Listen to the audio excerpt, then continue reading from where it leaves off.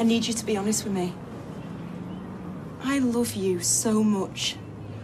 But if you don't feel the same way, we need to end this now. Look, what can I say? Oh, I don't know, Steve. Oh, oh, all right, look.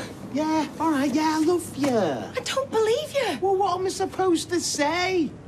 How am I supposed to prove it? Say, marry me? Eh? Like lovey-dovey Sinead and Daniel. Is that what I have to say to prove it? Do you mean that? What? That you want to marry me because, yeah? That would prove it. That would really prove it. Steve, do you want to marry me? Um. Yes, I do. Oh my God! Steve! To the happy couples.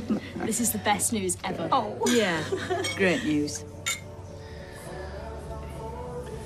So, Steve, what made you finally pop the question then? Maybe we inspired you. Um, I don't know. Oi. No, I mean, no.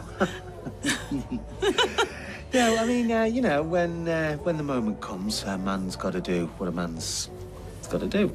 Well, I'm happy for you both. No, for all four of you. Love's in the air, eh, Trace? Yeah, well, it looks that way. Anyway, if you don't mind, I'd like to propose a toast just for me and Steve. No offense, like Daniel, but you had your moment earlier. You go for it.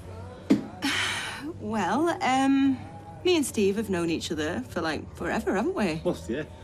But you know, sometimes it takes a while to realise that your soulmate is right under your nose the whole time. It's lovely that.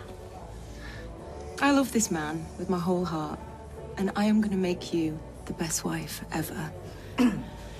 Steve and Tracy are the future. Stephen Tracy. Stephen Stephen Tracy. Stephen Tracy. Stephen Tracy. So bad.